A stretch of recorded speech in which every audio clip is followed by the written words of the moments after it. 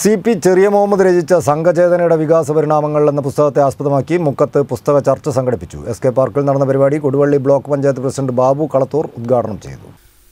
അധ്യാപകരുടെയും അധ്യാപക പ്രസ്ഥാനത്തിന്റെയും ചരിത്രവും കേരളത്തിലെ വിദ്യാഭ്യാസ പരിഷ്കരണ പ്രവർത്തനങ്ങളും പുരോഗതിയും വിലയിരുത്തുന്ന സി പി ചെറിയ മുഹമ്മദ് രചിച്ച് കറണ്ട് ബുക്സ് പ്രസിദ്ധീകരിച്ച സംഘചേതനയുടെ വികാസ പരിണാമങ്ങൾ എന്ന പുസ്തകത്തിന്റെ ചർച്ചയാണ് മുക്കത്ത് സംഘടിപ്പിച്ചത്.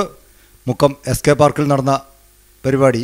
കൊടിവള്ളി ബ്ലോക്ക് പഞ്ചായത്ത് പ്രസിഡന്റ് ബാബു കളത്തൂർ ഉദ്ഘാടനം ചെയ്തു.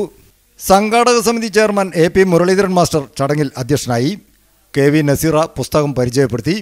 നഗരസഭാ കൗൺസിലർമാരായ Venu Kallurutti Gafoor Kallurutti A Abdul Gafoor master M K Asar ബഹുസ്വരം chairman Salam Karamula G Sudheer Nadukkandi Aboobacker C K Shameer തുടങ്ങി നിരവധി പേർ ചർച്ചയിൽ പങ്കെടുത്ത് സംസാരിച്ചു.